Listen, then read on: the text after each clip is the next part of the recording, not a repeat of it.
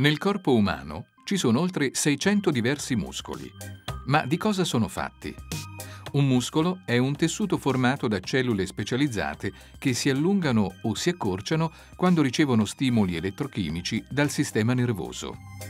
Il tessuto muscolare striato è tipico dei muscoli scheletrici e le cellule che lo compongono sono organizzate in lunghe fibre muscolari.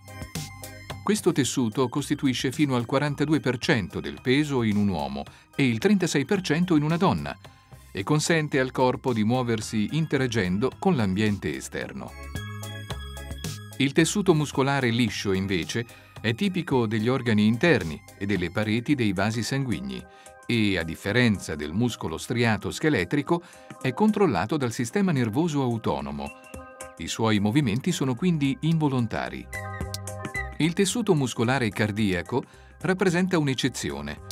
Di aspetto striato, strutturalmente simile a quello scheletrico, è però regolato in maniera autonoma.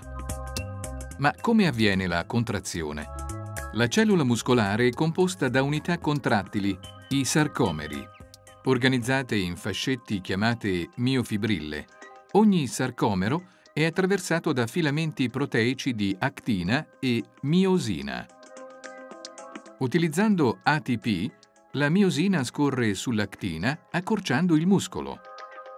Le fibre muscolari veloci, come quelle di un bodybuilder, ricavano l'ATP principalmente dagli zuccheri e, anche se sprigionano molta forza, i muscoli che le contengono esauriscono l'energia rapidamente.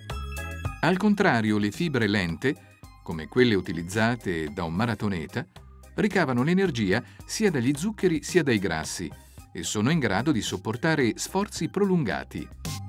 Per mantenere in buona salute il nostro apparato muscolare è necessaria un'alimentazione con il giusto apporto di proteine, ma è fondamentale anche compiere regolarmente attività fisica.